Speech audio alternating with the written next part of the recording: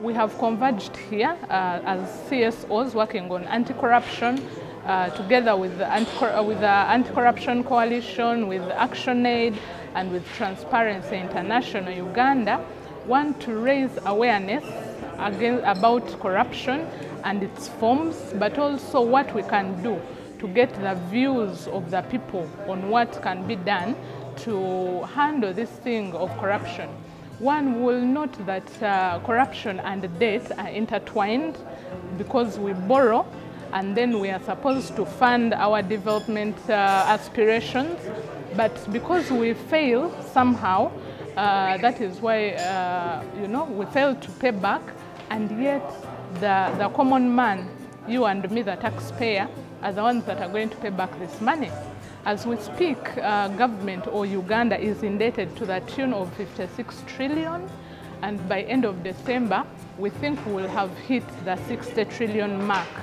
What do we use this money that we borrow for? Uh, one, we borrow when we are not ready, when there's no planning that has been done. Uh, sometimes we borrow and uh, those who are responsible to implement actually do, you know, eat the money or misuse the money. And yet the common man, you and me, the taxpayer is the one to pay back.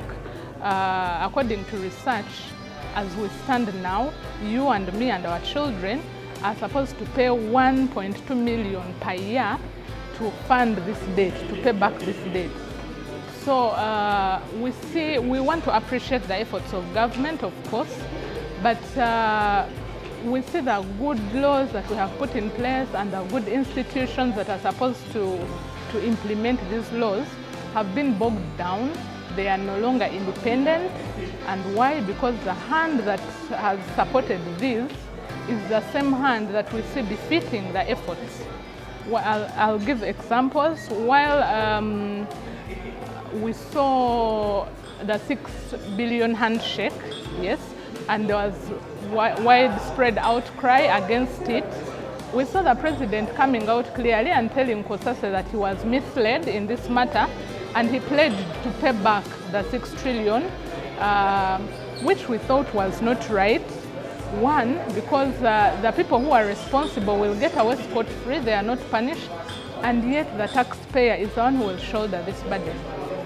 We also have the case of uh, the Honorable Kutesa, uh, when he was accused of, uh, of receiving a bribe to the tune of uh, 500,000 US dollars. The president said that while he thought this was a gift or a donation to charity, he would investigate, he would institute investigations. And uh, two years later, we are still waiting to see if the investigations were done, if they are ongoing.